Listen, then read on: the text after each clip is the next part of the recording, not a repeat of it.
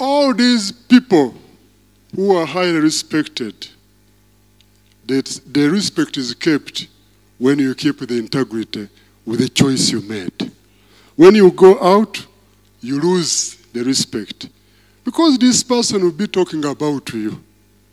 There are some men and women who always go and stand in public like I'm doing, and in the congregation or in the gathering, others are politicians, some women are saying now, probably today he's wearing a white underwear or a blue or something like that.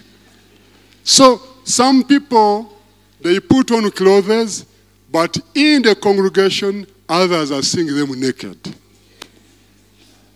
There are some people here, you can be what, but others are seeing you naked.